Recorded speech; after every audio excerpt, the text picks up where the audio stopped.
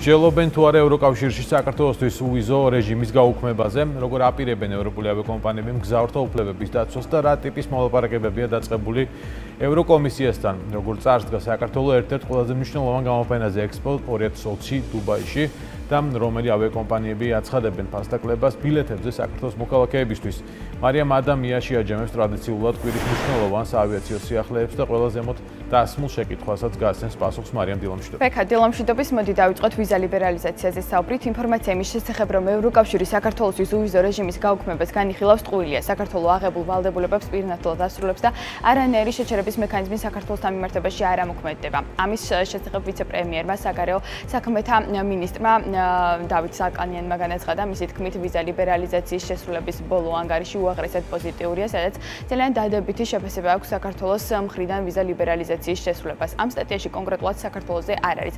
მოლდოვაზე და აღმოსავლეთ ბალკანეთის ქვეყნებზე არის საუბარი და არათუ გაზრდილია თავშესაფრის მაძიებელთა რაოდენობა პირიქით საქართველოსთან ევროკავშირში თავშესაფრის მაძიებელთა რაოდენობა 75%-ით არის შემცირებული, ამიტომ არანაირი შეჩერების მექანიზმი საქართველოსთან მიმართებაში არ ამოქმედება. ჩვენი ევროკავშირში ინტეგრაცია, მათ შორის თავისუფალი ვაჭრობა და სავიზო ლიბერალიზაცია შეუქცევადი პროცესია, ჩვენ არ გადავუხოთ ჩვენ მიერ ნაკესრი არც ერთი ვალდებულებისგან განაცხადა დავით ზალგანიანმა. საქართველოს მსოფლიო 191 ქვეყანასთან ერთად წლის ყველაზე მასშტაბურ საერთაშორისო გამოფენა ექსპო 2020 დუბაიში მონაწილეობს, რომელიც გასულ წელს COVID-19-ის პანდემიის გამო გადაიდო.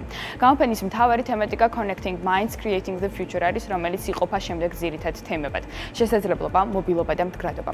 საქართველოს პავილიონი განთავსებულია მდგრადი განვითარების სექციაში. მსოფლიოს სხვადასხვა ქვეყნიდან ექსპოზე ჩასულ მილიონობით დამთვალიერებელს შესაძლებლობა ექნება გაეცნოს საქართველოს კულტურასა და მემკვიდრეობას, ტურისტულ ბიზნესს და საინვესტიციო შესაძლებლობებს. საქართველოს პავილიონი 4 ნაწილადაა წარმოდგენილი: მეღვინეობა, ქართული დამწერლობა, მდგრადი ტურიზმი, მისი კავშირი საქართველოს ბუნებრივ ლანდშაფტთან და ისტორიულ ძეგლებთან და ბოლოს ბიზნეს შესაძლებლობები. საქართველოს პავილიონში შესვლამდე სტუმრებს შესაძლებლობა აქვთ დაათვალიერონ ცნობილი ქართველის ქართველების სტენდები, რომლებიც მრავალი წელია შთააგონებენ თაობებს, ხელს უწყობენ ქალთა გაძლიერებას, სპორტის, მეცნიერების განვითარებისა და მუსიკის პოპულარიზაციას.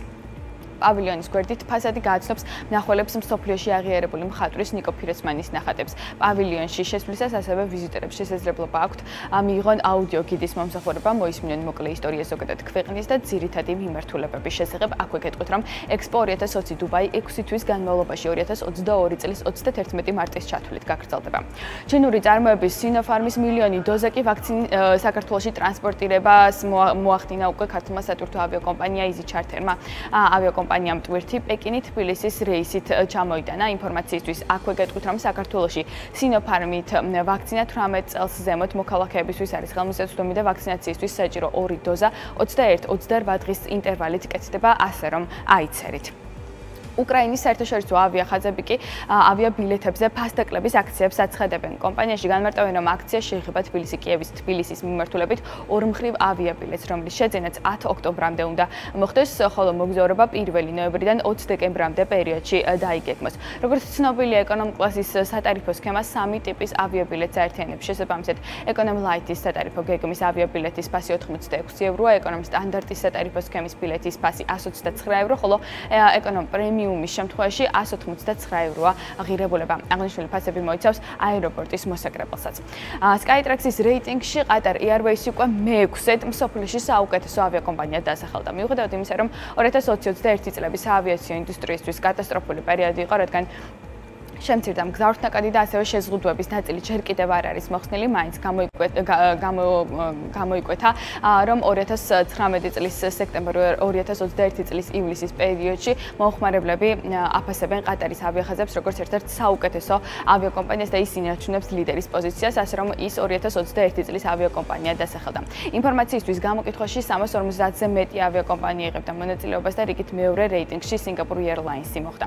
და ბოლოს ევროპის 16 უმსხვილესმა ავიაკომპანიამ ვალდებულება აიღო, რომ გზავრებს გაუქმებული ფრენების საფოსური 7 დღის განმავლობაში აუნაზღაურდებათ. გადაწყვეტილება ევროკომისიის ინიციატივით მიიღეს, რომელმაც ჯერ კიდევ 2020 წლის დეკემბერში ავიაგადაზიდვებს მოუწოდა COVID პანდემიის ფონზე ყურადღება მიაქციონ გადახდების პრობლემებს. რაც გულისხმობს ევროკავშირსა და 16 ევროპულ ავიაკომპანიას შორის დადებული ხელშეკრულება და როგორ დაიცავენ გზავრთა უფლებებს, რომელიც პანდემიის დროს ნაწილობრივ დაირღვა. თემაზე ნახოთ ჩვენს მიერ მომზადებული სიუჟეტი.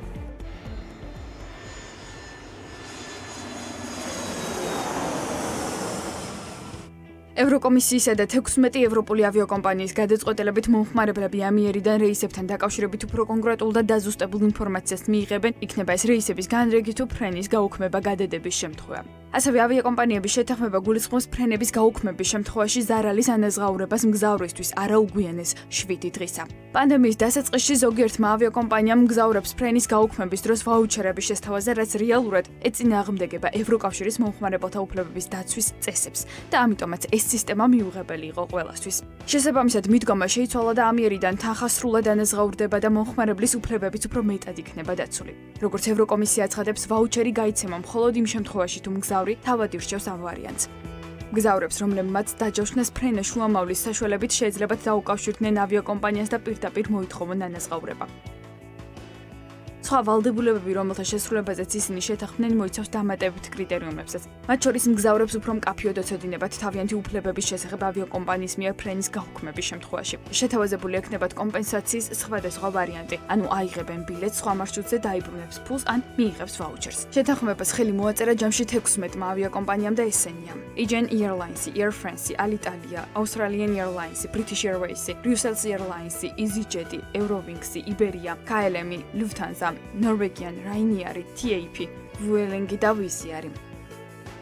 ამ გზით კომპანიები ცდილობენ დაუბრუნდნენ პანდემიამდელ მაჩვენებლებს და ახალ რეალობაში მომხმარებლებს შესთავაზონ მათზე მორგებული გარემო. შეგახსენებთ, რომ საავიაციო სექტორი COVID პანდემიის დროს ერთ-ერთი ყველაზე მეტად დაზარალებული მიმართულებაა. გაუქმდა ათასობით ფრენა. ფაქტობრივად განულდა მგზავრთნაკადის მაჩვენებლები და შემოსავლები, თუმცა სექტორი ეტაპობრივად იკრებს ძალებს და იზრდება მგზავრთა რაოდენობაც.